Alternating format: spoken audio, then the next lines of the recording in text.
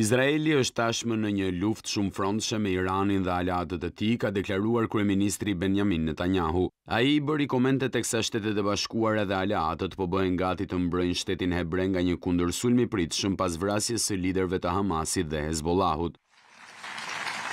Iran ve oseh dvara, Mevakshim leakif otanu betabaat khenek shel terror. Irani dhe përfaqësuesit e tij duan të na rrethojnë në shtatë fronte.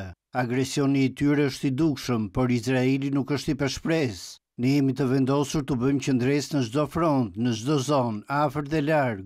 Kushdo që vret qytetarët tanë, kushdo që i bën keq vendit tonë do të mbahet përgjegjës dhe do të paguajë një çmim të lartë.